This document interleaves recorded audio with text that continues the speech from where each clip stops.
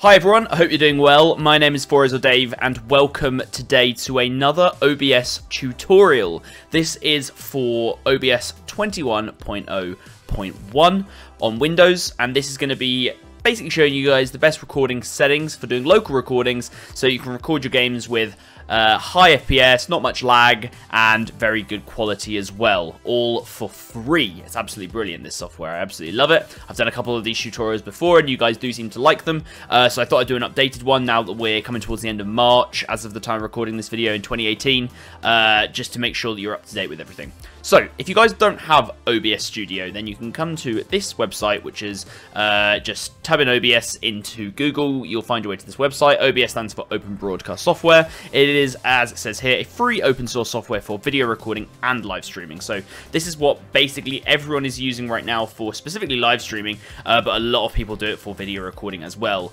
including myself on YouTube and, of course, live streaming on Twitch. From here, select what uh, system you're running on. Of course, I am running on Windows. You'd simply select this, and a download will start, which you'll see at the bottom. Uh, I'd already downloaded one here, but uh, it's just an exe file. You can just open it up, get it running, and everything will be great. So we can just cancel that because I do already have this installed, as you can see here. Now, the first thing you want to do when you've downloaded the software is to open your start menu, and you're going to type in OBS. And what you'll see is that you get you actually have two uh, versions of OBS. You have a 64-bit version and a 32-bit version. Now, for most people, you should be running a 64-bit system. You can check this by uh, if you just right-click on either my computer or this PC.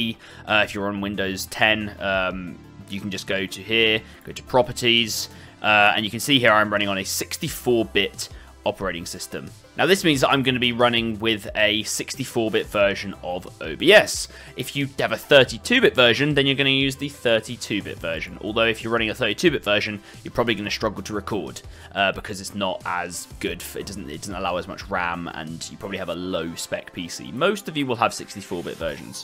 What you're going to do, so if I go back and we type in OBS again, and first thing actually is to right-click this and go to Open File Location. In here, then right click the application that's been selected, go to Properties, go to Compatibility, and do these two things. First of all, run this program in compatibility mode for Windows 7 and secondly, run this program as an administrator. The reason I do these two things is that some games I have trouble uh, recording the game because it keeps uh, essentially a black screen here. Uh, so I put my game in and then it just doesn't seem to record. And I've had a lot of people in the comments say this as well, like, oh, my video just has a black screen. If it does that, then that's the fix. You just need to make sure that mainly it's running as an admin, but the Windows 7 compatibility thing is another fix as well. And it should mean that any game that you try and record will record properly. Cool, now we're actually in the software. We've, we've got all the other stuff out of the way with. You will have in this software a scene and you won't actually have a source to start off with, so I will remove that. But uh, you'll have a scene here, which you can rename to whatever you want. I'm just going to rename it to, uh, let's rename it to tutorial scene. If I can type, there we go. And then for sources, uh, we will go to add, and for most games, we're going to go game capture. Uh, I can just name it game capture, that's fine. And then what I will usually do is I'll go to capture specific window and then select the window here. And of course you need to have the game open and then you just select it here. I'll show you that in a bit when we've set up all the other settings. But in here, everything should be set up correctly. Make sure you've got the use anti-cheat compatibility hook on. Uh, this just means that if you have any bits of uh, software which seem to detect OBS as a cheating kind of so software, I, I know PUBG did this for a little bit. Um, if you have this on, then it will just make sure that it doesn't have any issues. So everything here should be fine. Click OK. And that's our scene set up. Now, we don't actually have a game here because we haven't added it in yet, but we will do that soon. Next thing we're going to do is open up the settings and get into kind of the meat of the tutorial, really. In general, there is not actually much we need to do here. There's a lot of different settings, but you don't really need to play around with them. Main thing is you can set your theme. There are some pretty cool ones here, but I use dark. Uh, it's the cleanest one for me. Uh, automatically check for updates on startup is good as well. Uh, the software now actually updates on its own and you can just click here and update it. You used to have to go on the website and download a new version from there and it was a bit of a pain, so this is a really nice feature. Stream, I'm not covering streaming today, so we don't need to worry about that. Output. Now, when you come into output to start off with, if you've got a new uh, software just downloaded, you will be in this simple mode. This is no good. This doesn't give us the uh, the in enough of uh, customization that we want to actually use. So come in here into advanced and then move to recording. Firstly, you're going to set your recording path and make sure, obviously, your type is on standard as well. But make sure you set your recording path to a hard drive. So this is my uh, recordings and I have it on, if I go back to my PC, you'll see I have three hard drives. So I actually have my uh, local disk C, which was where my OS is on. This is an SSD. Then I have local disk E is actually technically really my second one. That's where I have all my games, a lot of my main files. That's why it's so full up. And then D is specifically for recordings and videos. Now this is actually a pretty fast hard drive. It's not an SSD, but it is pretty damn fast. So uh, yeah, I record straight into here, and having a faster hard drive it means that you're not going to have any issues recording. If your hard drive's too slow or you've got a really old hard drive, you might suffer issues when recording because the the hard drive basically can't keep up. If you're recording really big file sizes, you're writing uh, bigger file sizes than the, the, the, the hard drive's write speed can keep up with, which isn't good. So make sure you have a decently decent speed hard drive and ideally a separate hard drive to your OS or wherever the software is running from. That will give you the best performance in that regard. So I'm just going to go in here, go into my recordings folder, bam, selected. There it is, D slash recordings. Great. Recording format, put this on MP4. Uh, if for some reason MP4 doesn't work for you, which there's almost no reason why it, it shouldn't work for you, uh, then try MKV. But MP4 works really well for me. It allows me to edit in Premiere Pro. It will also allow you to edit in Sony Vegas if that's what you edit in. So pick whichever one suits you best. Audio tracks is how many audio tracks you want. For most people who are doing just like gameplays, you might just have one audio track. Uh, me, I use three audio tracks. So I have one audio track for my gameplay audio, one audio track for my mic audio, and then one audio track for my Discord audio for when I'm playing with friends. Um, a lot of people might use two, in which case you'll have one for your mic and then one for your gameplay and your Discord. However, I have a way to split all of it. And if you guys want a tutorial on that, then leave a link, uh, leave a comment below, and I'll give you a tutorial on that as well. Encoder, uh, I'm going to set this to NVENC H264. Now, if you have an NVIDIA graphics card uh, that's at all recent, then you should have this as an option. And this allows your GPU to do the encoding, uh, which is really, really efficient because your GPU is, is built for that kind of thing. If you do, if you don't have this and use X264, I'm not going to cover it today, uh, but this will eat up a lot more of your CPU power, and for a lot of lower spec PCs, you're going to have a lot of trouble recording. So if you have access to this or AMD's equivalent, I can't remember the name of it, but there'll be another thing here, or something like QuickSync, just try one of them. It will be better, and you'll be able to do very similar settings to how I set this up. So either NVENC the AMD version, or Intel QuickSync. One of those three will be good for you. Rescale output we do not want to do here. Uh, if you want to turn down the scaling, we can do that later, but I record at 1080p, which is my monitor's resolution, so that's all good for me. Nothing in the custom Muxer settings. And then here we have our encoding settings. So the rate control, there's a couple of different things you can do here.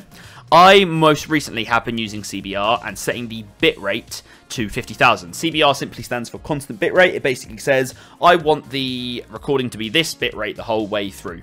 Uh, this means I have consistent file sizes uh, because the bitrate is always 50k, no matter what I'm recording. This means that sometimes uh, a file can be bigger than it needs to be. Say I'm recording a really simple game that doesn't have too many crazy graphics, uh, then maybe the bitrate's a bit wasted. Uh, but it just means I have consistent file sizes, consistent files overall, and 50,000 is what something like NVIDIA Shadowplay uses, uh, which means that I'm equaling that quality at least. If you wanted to be really picky and wanted to have better quality, you can try bumping this up maybe to 60,000, maybe higher, maybe 80,000, but it's not really necessary when you're uploading to YouTube, and YouTube's eventually going to render it all and kind of compress it all down anyway, so 50,000 works well for me. Keyframe interval, leave this as zero, which is auto. For preset, uh, recently I've been flicking between default and high quality. I don't see a huge amount of difference either in the performance or the quality. So I've been keeping on high quality just for maybe that little bit of quality that I'm not specifically seeing with my eyes, but it's there, if that makes sense. So I'd recommend trying high quality. If you have any issues, try turning it down to default. For profile, because we're recording high definition, we want to have this on high. Uh, you can look up online what this profile thing means. It's really hard to explain, but you can switch between high and main. Similar to this preset setting, it doesn't seem to make much difference, but for high definition recordings, you should be using high. And also, when I do my rendering, I render with a high profile, so having consistency throughout is good for me. Next is the level, just leave this on auto. I don't use two-pass encoding because I don't understand how two-pass encoding is meant to work when you're recording, so I just don't use it. And then GPU, this is just whichever GPU is selected. I only have one GPU, so it says GPU 0, uh, and then B frames 2, which are just the default options. And all these settings should give you very good quality. Next is audio. Just set all the tracks to 320.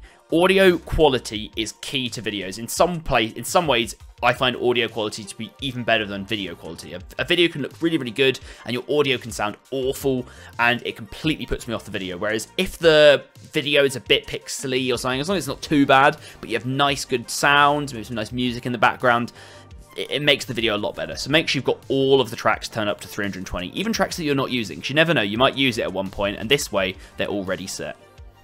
And then replay buffer, we're not using. So that's everything in output. That's a pretty big section. But next is another audio section, and this is where we're setting our sample rate as well as our devices.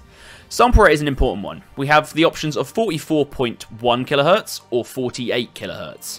Now, we want to keep consistency. So when I right click down here on my, uh, my, my audio settings on Windows and go to recording devices and then go on my microphone, which is my producer USB microphone. It's what I'm speaking into right now for you guys. I'm going to right click it, go to properties, go to advanced, and you'll see here I've got the default format set as one channel, 16 bit, 48,000 kilohertz. So therefore, I'm selecting 48 kilohertz. Sorry, that was 48,000 hertz. So this is 48 kilohertz. My bad. Um, if I had this set at 44.1 kilohertz, this could lead to some desync issues because we're recording at different, sam different sample rates. To get the best quality and no desync, make sure you've got it the same. If you've got this set at 44.1, you set this as 44.1. Great. All understood. Channels, I set to stereo. And then the desktop audio device is whatever your audio is coming through into your speakers. So you could set this as just something like speakers or default usually works. However, I use this software called Voicemeeter, which is used to split the audio. Once again, if you want a tutorial for that, leave a comment below. This desktop audio 2 is my um, Discord audio. Sorry, I completely forgot what that was called. And then my microphone. Three different tracks, three different devices. Brilliant. Uh, next is video. I have this at 1080p on the base and the scaled. If you do want to downscale to something like 720p, do it here. Output scaled resolution. You can set it to 1280 by 720, that's 720p. However, I record at 1080p. For the downscale filter, I've found that bicubic is the best. I'm not downscaling at the moment, so it literally makes no difference to me. But if you are going to downscale, I found that bicubic is actually better than Lanczos, even though Lanczos says it has more samples. It just seems to be the best, bicubic. It looks the best. And then FPS values, I like to record my videos at 60 FPS, and honestly, if you can, you should, because 60 FPS looks absolutely great on YouTube, and I could never go back now. Hotkeys, this is where you can set your hotkeys for starting and stopping recording. I don't actually use them, but if you're doing streams, then hotkeys are obviously very useful, so you can use them there.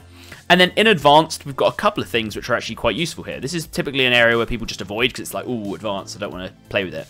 But we're going to set the process priority actually to high. Now, the reason I do this is it's personal preference. For example, say I start up Far Cry 5, a new game that I've just got, and I want to record it. Far Cry 5, it, I start it up, and without anything else running on my PC, it runs at 120 FPS. Let's just say that, that number.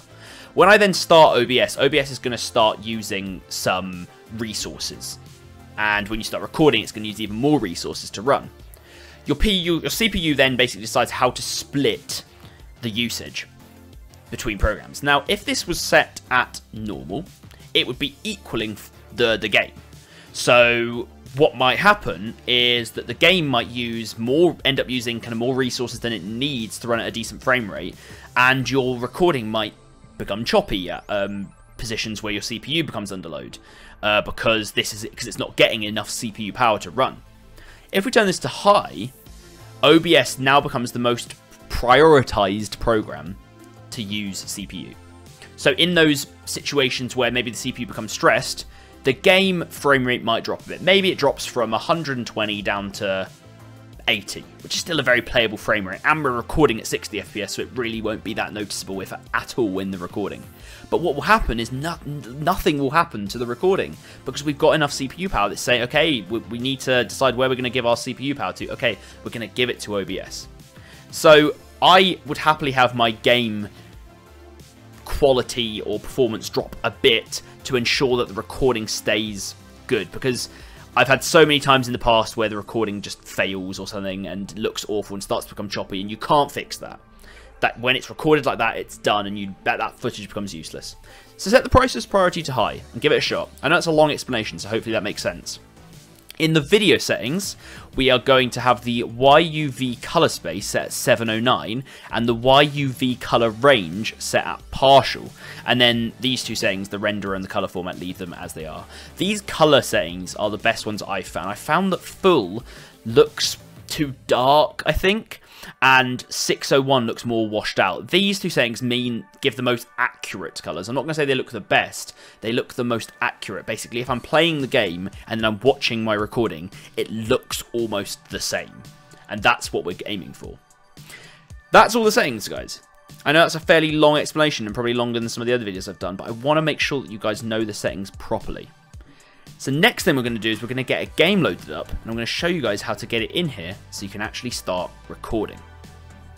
Okay guys, so here we are. We've opened up a game. This game is Dungreed, a little roguelike game which I've been playing recently, which is a lot of fun. And uh, it's a good one because I can basically put it in windowed mode and it still looks pretty good because it's a pixely kind of game. And I can show you guys it running in real time with OBS. So, what we're going to do is go into OBS I'm going to get rid of this for now so I can actually add it again. Uh, as I said, we add game capture, drag it in, capture specific window, window, Dungreed. Okay. And there we go. There's Dungreed. Uh, now, the resolution of this at the moment is, if we go in, it's 1024 by 768. So that's the space that this is taking up. This is a canvas which is 1080p large. So for a game like this, maybe if I was recording like this, we can drag it around. We can, what I'd do is I'd literally, you can just freeform it like that. And then to get it central, I'd right click. I'd go to transform and I'd do, maybe fit to screen. There, there we go. We could also do stretch to screen, I believe which would stretch it, which isn't as nice. Can I put it back? Yeah, we can. So there we go. There's Dungreed. Now you could have some extra things in the background. You could do add... Um, can you do a solid color? You could make like a solid color and add it as an image and have that in the background so we don't have these black bars. Essentially, there's the game running. Now, for the audio, you'll have your different audio tracks here. So I've named them as PC sounds, Discord, and microphone. What you're going to do is you're going to click the little cog wheel here, and go to Advanced Audio Properties. In here, you have your three different tracks, and the main thing you want to set is the tracks they're on. So my microphone is on track 1 only, my PC sounds are on track 2 only, and my Discord audio is on track 3 only. So you can tick and untick whichever tracks you want. Just make sure that you've got your tracks for your audio split, and then set your volume as you please. I have them all on 100% because I do the audio elsewhere, basically. And that's essentially it all done. I mean, now what you do is you'd literally click start recording. I'm not going to now just because I don't want to actually start recording on this at the moment. But if you can see this in the background, if I just move this over here and we literally start playing, you can see that literally you've got the game on the left and then you've got the game recording on the right. And there you go. It's that easy. And you will get really, really good quality out of this there we go. Easy peasy. Let's close the game out. If you ever lose your game, literally, it just disappears from there. But you can still see in here, if I go properties, it's still selected as Dungreed, even though the game's closed, which means if I open up Dungreed again, which I can't select because I've actually unselected it, uh, then it will start recording it again. And it means if you, have any, if you have any issues like alt-tabbing out your game or the game crashes, it doesn't matter. The recording still goes. It doesn't stop. You could literally go here and you could go add display capture and you could add literally this display and get this effect. Like, it's just a constant recording. I can delete that, it would still be recording. I could delete that, it's still recording. It's great. There we go, guys. That is this tutorial done. I hope you found it really informative. I wanted to cover as many things as possible in this one, because uh, every time I record these, I always feel like I don't put in enough information. Some of you might think that this is too long, but hopefully if you've sat through it, you'll now have a really good understanding of how OBS works and why these settings are actually so good. As I said, if you've enjoyed, smash that like button, leave a comment below, and subscribe for more awesome videos coming very soon. I'm going to be grinding them out over the next uh, couple of months or so, hopefully. So stay tuned. Thanks for watching. I will catch you guys in my next video. Bye-bye.